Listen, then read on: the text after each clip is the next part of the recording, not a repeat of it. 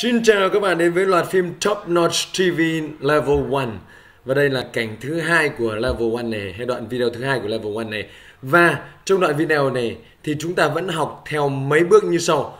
Các bạn nhìn xuống phía dưới ạ. Bước 1 là gì? Nghe và hiểu nội dung.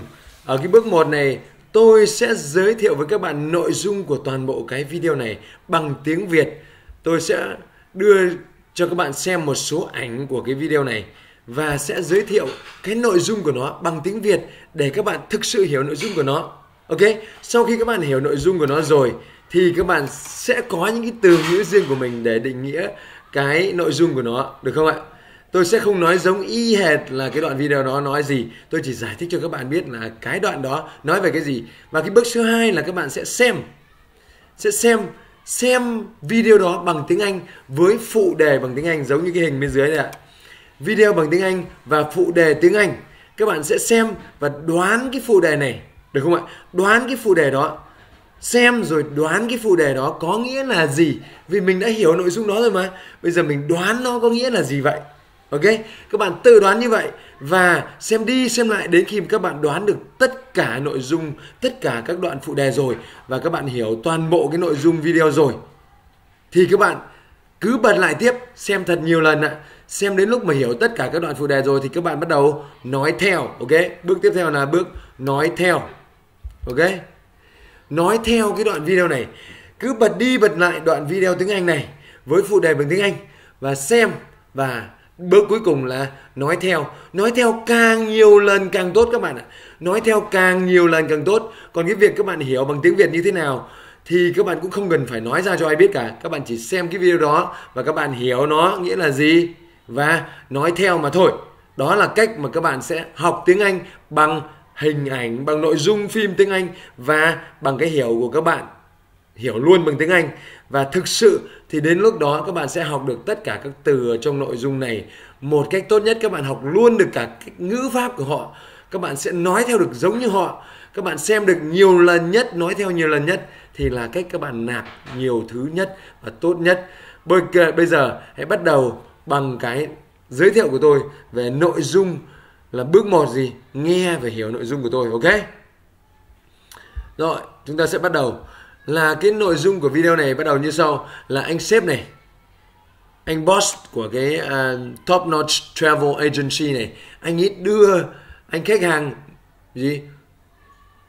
Moretti này Mr. Moretti đúng không Giorgio Moretti đến gặp cô Mary này đó, đây là ông chủ, đây là Giorgio Moretti và đây là Mary, ok?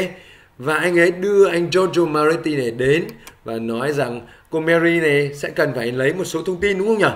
Cô Mary này cần phải lấy một số thông tin để có thể đặt vé được cho anh Giorgio Moretti đó. Và anh Giorgio Moretti này cần phải ngồi với cô Mary này một chút và sau đó thì, sau đó thì tôi sẽ quay lại với anh để nói chuyện tiếp về việc đi Tokyo đó, anh này anh chủ này anh hứa này anh sẽ quay lại để nói chuyện tiếp về chuyện Tokyo, đi Tokyo như thế nào. Ok thế thì anh Moretti này bắt đầu ngồi với cô Mary này và bắt đầu khai thác thông tin. Thì cô Mary này biết anh này là người nổi tiếng rồi biết rất nhiều thông tin về anh chàng Giorgio Moretti này rồi và cô ấy rất là ngượng ngùng đúng không nhỉ? Và cô ấy ngượng ngùng và cô ấy bắt đầu hỏi gì? Tên thì đương nhiên là cô ấy tự trả lời là gì? Giorgio Moretti. Câu hỏi thứ hai là câu hỏi về nghề nghiệp. À trước khi hỏi về nghề nghiệp thì hỏi về gì? Đến từ đâu? Quốc tịch là gì? Quốc tịch của anh là gì?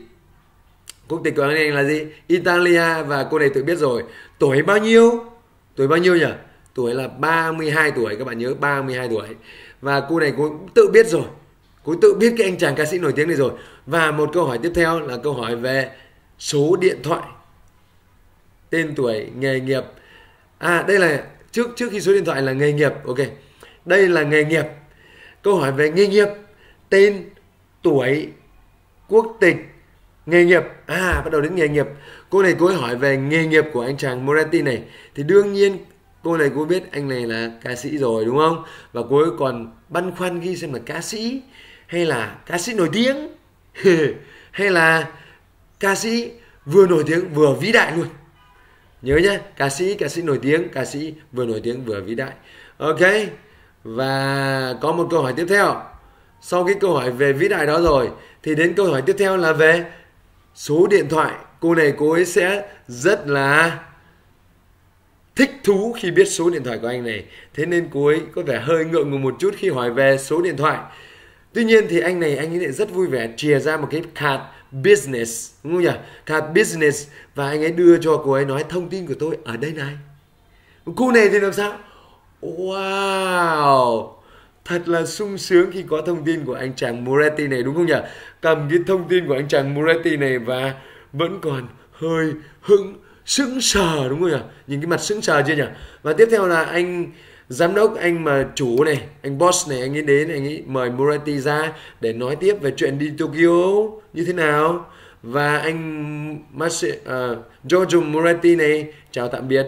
Cảm ơn cô Mary và ra nói với anh này. Anh chàng uh, boss này.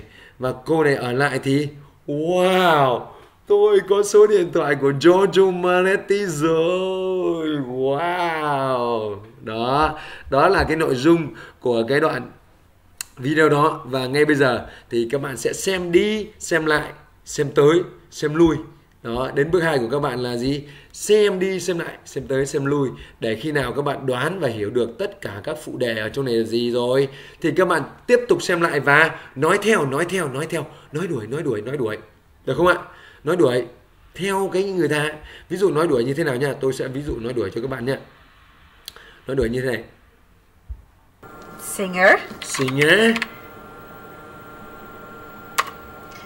Famous. famous Singer. Great and famous great singer. and famous singer ok đó là kỹ thuật nói đuổi và tôi sẽ cho các bạn xem cái đoạn video mà có cái phụ đề ví dụ tôi sẽ nói đuổi theo phụ đề như này nhé 32. 32 Married. married? No. no. Đó các bạn sẽ vừa đọc được gì? Phụ đề. Vừa nói đuổi theo họ. Ok? Như vậy thì sẽ dễ hơn rất nhiều đúng không nhỉ? Vừa đọc được vừa nghe được. Và nên nhớ khi mà các bạn nói đuổi theo thì các bạn bắt trước cái giọng của người ta ấy. Chứ không phải không phải là mình tự đọc cái này mình, mình bắt trước đâu nhé mà mình nói đâu nhé ví dụ no thì người ta nói là no thì mình nói là no chứ đừng đọc cái này đọc thành no thì không được đúng đúng không nhỉ? Mình phải nói theo cái giọng của người ta bắt trước theo cái của người ta làm sao giống nhất có thể. Thế nên tôi mới nói các bạn là gì? Bắt trước đi bắt trước lại thật là nhiều lần ok? Ngay bây giờ thì không để các bạn đợi lâu nữa. Hãy uh, xem cái video này và bước số 2 của các bạn là xem và hiểu nội dung của nó. Ok tôi sẽ xem cùng các bạn.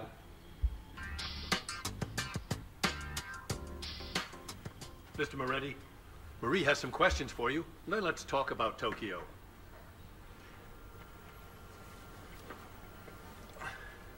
Okay. Let's see. Name. Giorgio Moretti. Occupation.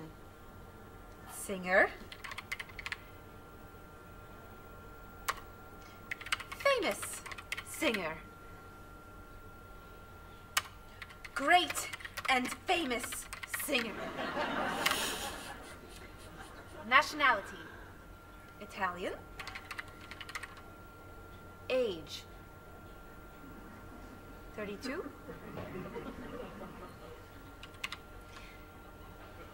Married. No. Single.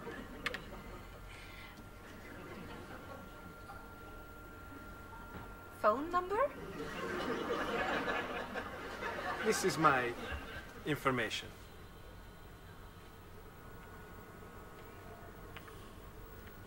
Everything okay?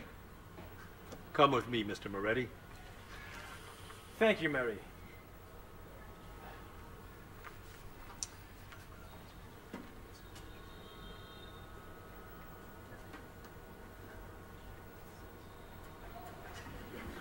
I have Giorgio Moretti's phone number.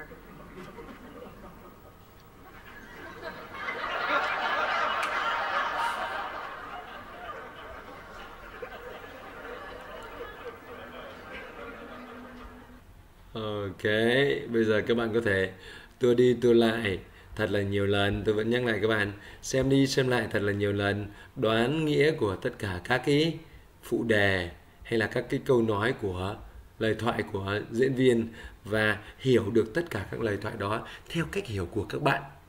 Quan trọng nhất là hiểu theo cách hiểu của các bạn và nói theo. Bước cuối cùng là sau khi hiểu hết rồi thì các bạn tập nói theo người ta, tập nghe cái âm người ta và nói theo làm sao để giống cái âm của họ, ok? Đó là cách tốt nhất để chúng ta học tiếng Anh. Cảm ơn các bạn đã quan tâm theo dõi video này và xem đi xem lại nhiều hơn nữa nhé. Cảm ơn các bạn.